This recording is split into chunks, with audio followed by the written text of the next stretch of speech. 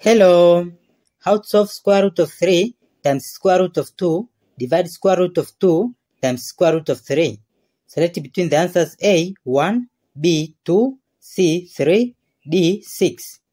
So first we'll start to deal with division. Square root of 2 divided by square root of 2. Then it will be square root of 3 times this divided by this is same as square root of 2 over square root of 2. Then times this square root of 3.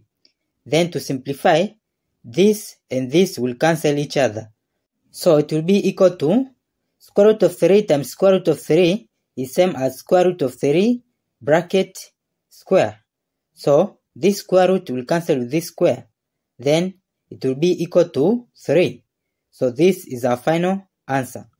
Or in another method, solve from this our problem, which is square root of 3 times square root of 2 divided by square root of 2 times square root of 3.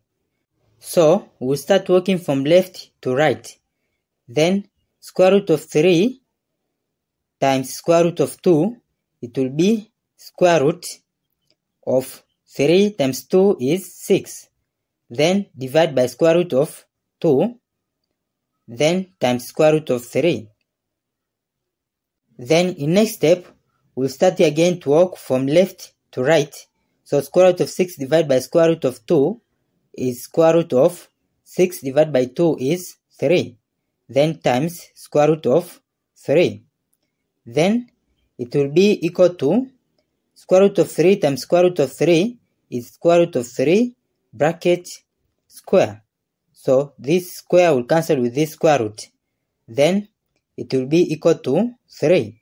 Therefore, this is our final answer. Selecting select in the multiple choice, it is C. Thank you for watching. Don't forget these steps to miss out. Subscribe to my channel and see you in the next video. Bye bye.